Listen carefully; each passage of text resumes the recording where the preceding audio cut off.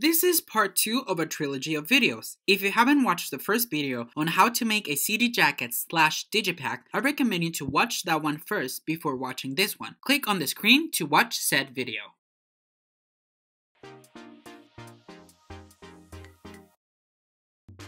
Hello guys, I'm Jorge and this is our Crafter in Training and if you're new here, welcome Let's get right into business. Start by going to the folder called CD Jacket Digipack that we downloaded in part 1 of this video. Open the folder called Templates. There, you should have a file called To Booklet. Open it on Photoshop. You see that the file has a guideline in the middle. It is very important that you leave it there. We will use it, but it will not appear when you print the design. First, the right will have the cover and the left will have the back cover. Save each piece as you go. I recommend you to label each page as 1, two, three, and so on, depending on how many pages you will have. If you have an image on the middle and you're worried it will not look okay in the finished product, do not worry. We won't let that happen just design away. Once you have your designs, let's leave the computer for a little while and let's grab some scrap paper and a pencil or a pen. Remember I told you to label each image of your booklet from 1, 2, 3, and so on? Well, depending on the number of the pages, you should divide that by 2. For example, I have 4 pages, which divided by 2, it gives me 2. That means that I need 2 scrap pages of paper for this booklet. Let's fold both of the pages down the middle and put them on side of the other like so. With a pencil or a pen, we should start marking the pages with the number in order of the outer design. For example, the outside is 1, so I make one left and one right depending on the side. And I repeat with the second page. I go 2 right, 2 left, and then the middle page is 3 left, 3 right, and so on and so on. Now, what we're going to do is separate the image like so and take notes of each page. For example, the one is 1 left and 1 right. If we flip the page, we have 2 left and 4 right in this one. And both of them, both pages should be paired. And the second one, I have 4 left and 2 right. And from the other side, the middle, I have 3 left and 3 right. It is very important that you take notice of the pages pair. For example, this one go on the back and the other one and so on and so on. Now that we did this, let's move back to the computer.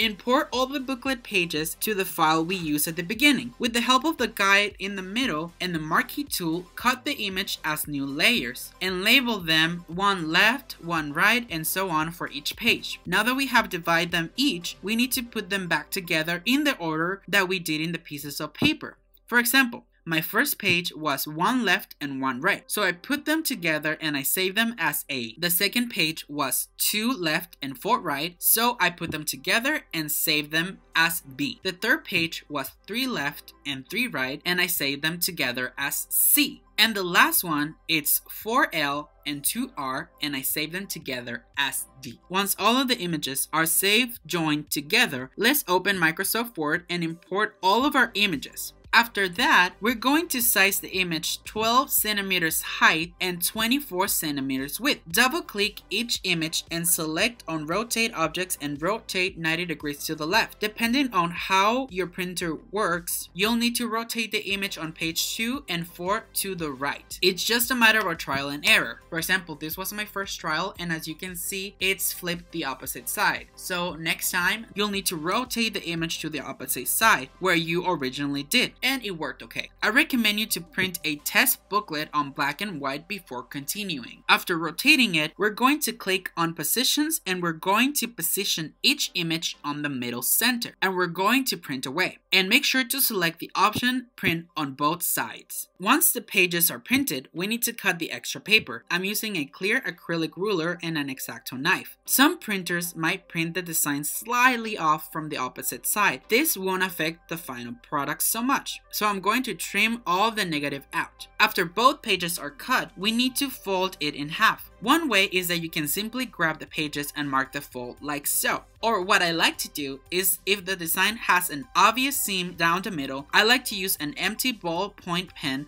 to mark the fold slightly. That's what I do. If you don't have an obvious seam, just measure the middle of the page, which is 12 centimeters. So I'll score the page very lightly since this is paper and not cardstock and it doesn't need a whole lot of pressure. And the fold should be marked. Let's just press the fold down and I'll repeat the same thing on the other side. Now we're going to have a booklet coming to life. All that there is left to do is to staple it in place. Before we staple it, we need to mark a 2.5 centimeter down the middle of the cover from the bottom and the top like so. Now let's take our both pages and put them one on top of the other like so. This is optional, but I'm going to use two pieces of washi tape without a lot of glue to keep the pages together while I staple them. What I do you I take the booklet and line it perfectly and stick the washi tape to one of the pages, and repeat on the opposite page. The good thing about washi tape is that it won't damage the image because it has a very light stick and that way it should keep it in place while we staple. Now, in order for us to staple the pages together, we're going to take a box. We take the booklet and put it on top, almost to the edge. We're going to take our stapler and open it as much as you can and we're going to staple where we mark the 2.5 centimeters after the mark and staple away. And repeat on the opposite side. All that there is left to do is to lift the paper from the box very carefully. If you take a look in the middle, we realize that the staples did not flatten. That's what we want. We'll do it manually. With the bottom of my X-Acto knife, I'm going to flatten the staples down with a light firm press and repeat on the other staple. If you use the washi tape trick, all that there's left to do is to remove the tape very carefully. One last detail. Sometimes when we bookbind, we might have pieces of pages sticking out, like so. That's totally normal. Ask C Lemon. All we're going to do in order to keep everything as straight as possible, unlike me, I'm going to use my ruler and cut any excess sticking out of the booklet with my X-Acto knife. This can also depend on your printer, so not all printers will do this. And just like that, we have ourselves a booklet. Look at that, it looks very professional. We have it ready for a digipack or for your fan-made CD. It's up to you.